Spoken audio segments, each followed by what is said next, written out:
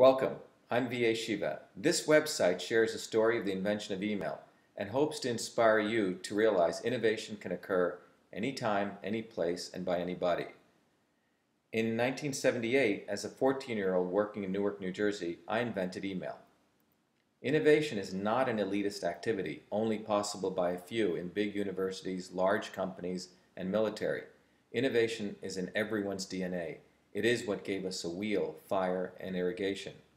The unfortunate vitriol, animosity, and bigotry following news of my invention of email reflects how systems of power react when false narratives are shattered. Only when innovation is allowed to prosper in inner cities, small towns, and villages are we going to solve the major problems of our times, and that can only happen through equitable distribution of existing resources.